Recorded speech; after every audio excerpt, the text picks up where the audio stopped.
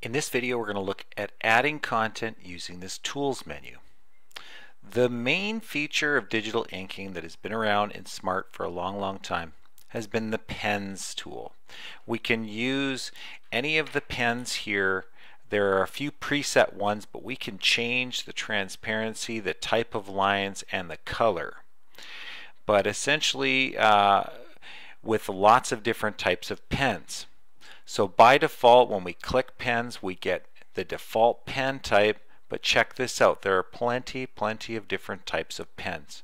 We're not going to go through every single one of these. You can try them out. There are some that have uh, specific features, but generally speaking, they work the same. When you open a pen, you can make different adjustments to a few presets here, or you can change it, and then it's start inking.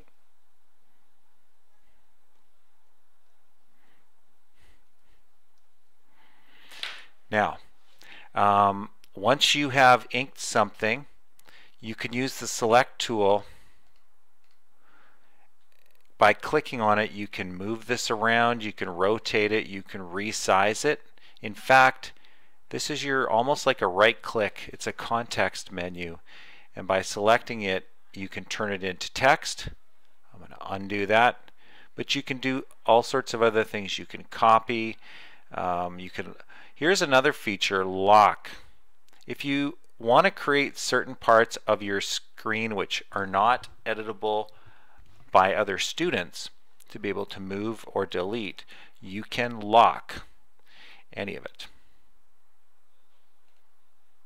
So it's now locked so that students could move around, drag around, draw ink, they could come up to the smartboard, but they can't do anything with something locked until it's unlocked. So that is the pen tool uh, and generally speaking how you can then work with that um, stuff that's on the screen. There are shapes and again you click on one and a whole new set of menus opens up for plenty of different other shapes. Clicking and dragging. Um, and then once you've got your shape, again, going back, this is always a tricky one, remembering to go back to the select tool when you want to do something with it, the, the thing that you've just put on there using one of these other tools. So for example, if I wanted to fill it in with the paint bucket, I could then, um, I'd have to select it first using the selection tool. So you create the original item with the different tools here. Here's a text one. So I'm clicking the text, click on here, and then it's the select tool to then do something with that.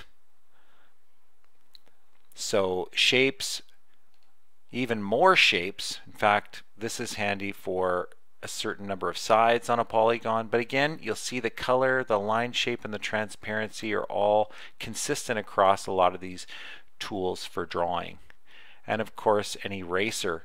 Uh, depending on what you're using, if you're using an actual smart branded smart board, there should be a built-in eraser in that hardware uh, eraser tool. If you're using an Epson board, you will not be able to use some of the Epson specific tools like the back of the pen to erase the smart ink. So you'll have to go to this eraser and manually um, erase something. Notice that the only thing I can erase is digital ink and not text and not shapes.